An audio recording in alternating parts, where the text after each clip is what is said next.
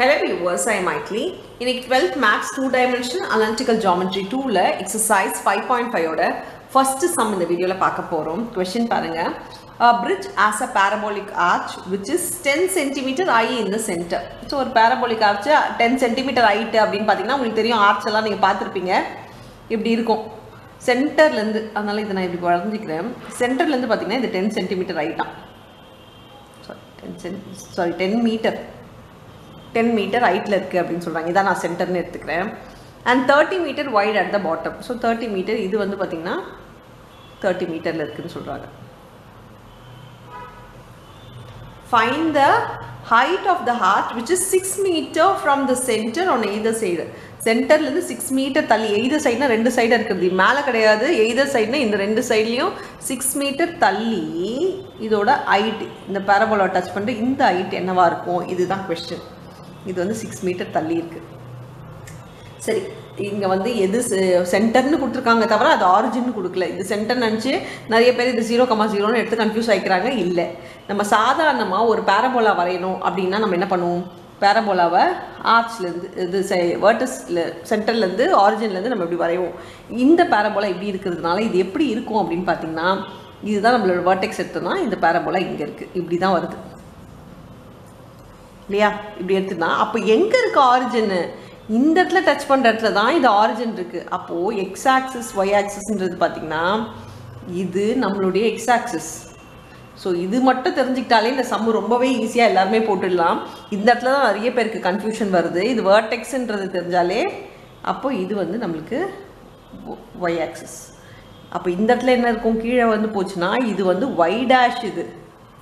இது Y dash தேவை கிடையாது. ஏன் இதில் சொல்கிறேன் அப்படின்னு பார்த்தீங்கன்னா இது எக்ஸ் ஆக்சிஸ்னும் போது இதுதான் ஆரிஜின் ஜீரோ கமா ஜீரோ அப்போ இந்த பாயிண்ட் என்னவா இருக்கும்னு பார்த்தீங்கன்னா இது டோட்டலாக ஃபிஃப்டீன் ஃபிஃப்டின் பிரியுமா?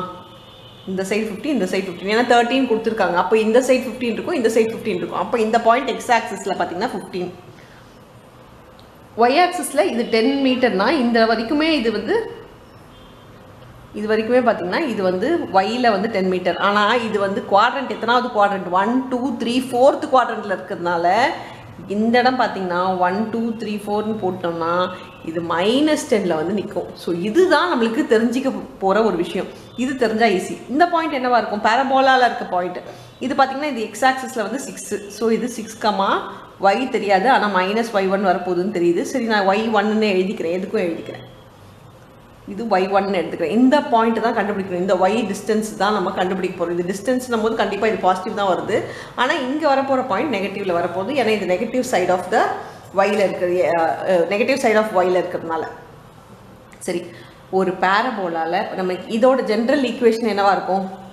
இது எந்த சைடு ஓப்பன் ஆகுது? ஒய் சைடில் open ஆகுறதுனால X square equal to negative side இருக்கிறதுனால மைனஸ் ஃபோர் ஏ ஒய்யாக இருக்கும். எந்த சைடு ஓப்பன் ஆகுதோ அந்த சைடு தான் வந்து பவர் ஒன்று இருக்கும். அப்படி பார்த்தா ஒய் சைடில் ஓப்பன் ஆகிறதுனால ஒய் பவர் ஒன் வரும். அப்போ X square equal to four A Y minus four A ஒய்ங்களா இப்போ என்ன பண்ண போகிறோன்னா பேரபோலாவில் பொறுத்த வரைக்கும் ஏதாவது ஒரு பாயிண்ட் இருந்துச்சுன்னா அதை எக்ஸ் ஒய்க்கு பதிலாக சப்ஸ்டியூட் பண்ணிக்கலாம். ஸோ இந்த இடத்துல இருக்க பாயிண்ட்டை நான் எக்ஸ் ஒய்க்கு பதிலாக சப்ஸ்டியூட் பண்ணி போகிறேன் ஏன் சப்ஸ்டியூட் பண்ணுறேன்னா நம்மளுக்கு ஏவோட வேல்யூ வேணும். அதுக்காக இதை என்ன பண்ண போகிறேன் எக்ஸ் ஒய்க்கு பதிலாக இந்த பாயிண்ட்டை நான் சப்ஸ்டியூட் பண்ணிக்க போகிறேன் ஏன்னா இது பேரபோலாவில் லை ஆகிற ஒரு பாயிண்ட் பேரபோலாவில் லை ஆகிற எந்த பாயிண்ட்டாக இருந்தாலும் எக்ஸ் ஒய்க்கு பதிலாக அதை போட்டுக்கலாம். இப்போ பாருங்கள் எக்ஸ் ஸ்கொயர் வந்து five fifteen square equal to minus four into A into ஒய்க்கு பதிலாக minus ten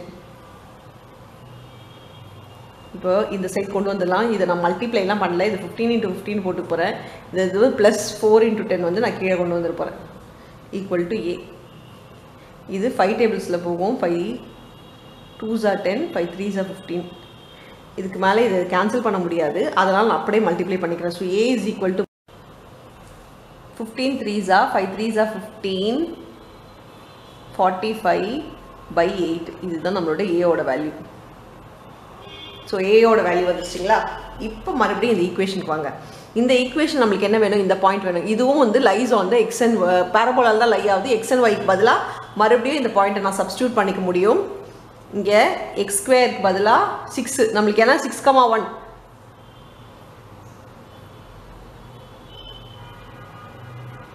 point on six comma Y ஒனில் பார்த்தீங்கன்னா இந்த ஈக்குவேஷன் சப்ஸ்டியூட் பண்ணணும். ஸோ எக்ஸ் ஸ்கொயருக்கு பதிலாக six square equal to minus four into ஏக்கு பதிலாக forty five by eight into Y one ஏன்னா அதுதான் நம்ம கண்டுபிடிக்க போகிறோம் இப்போ இது டூ சார் ஆகிடுமா அதே மாதிரி தான் இந்த சைடு என்ன பண்ண போகிறேன் நான் மல்டிப்ளை எதுவும் பண்ண போகிறது சிக்ஸ் இன்ட்டு சிக்ஸ் பை இந்த டூ வந்து கீழே இருக்க டினாமினேட்டர் இருக்க டூ மேலே இந்த சைடு போகும். நியூமரேட்டரில் போயிடும். ஃபார்ட்டி ஃபைவ் கீழே வந்துடும் so minus sign equal to Y one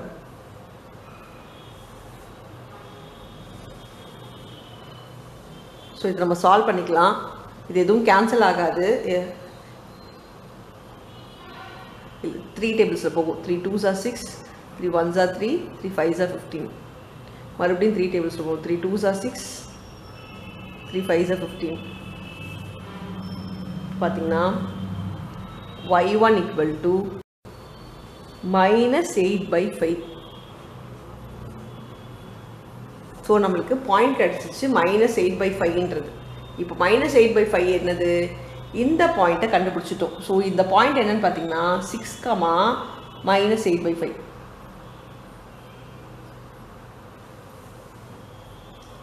சரி நம்ம என்ன கண்டுபிடிக்கணும்? Find the height of the arch six metre from the centre on either side இப்போ ஆக்சுவலாக ஹைட்னா என்னது? இது வந்து இதுதான் ஹைட் இல்லையா?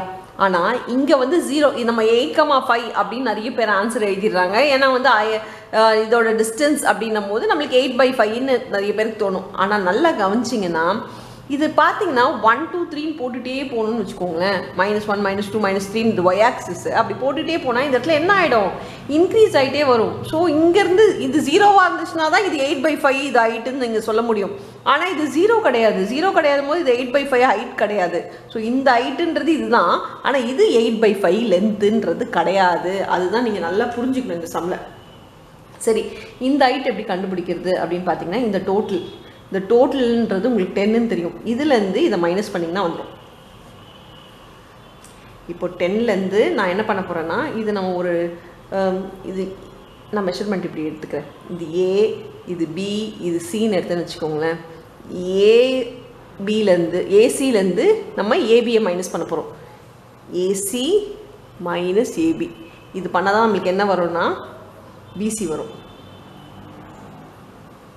ஸோ பிசி தான் நம்மளுக்கு லென்த் வேணும். இதுதான் ஹைட் இந்த இது டிஸ்டன்ஸ் தான். இது சிக்ஸ் மீட்டராக இருந்தால் இது எவ்வளோ தூரம் இருக்கும் அப்படின்னு சொல்லி தான் கேட்குறாங்க ஸோ இது கண்டுபிடிக்கிறதுக்கு என்ன பண்ணுறோம் டோட்டல் ஹைட் டோட்டல் ஹைட் பார்த்தீங்கன்னா இது வந்து நமக்கு டென்னு டென்லேருந்து நான் இந்த இந்த மேலே மேலேருந்து வரும்போது தான் இது எயிட் பை ஃபைவ் ஏன்னா ஒன் டூ த்ரீன்னு நமக்கு கொண்டு வந்துகிட்டே இருக்கும். So ten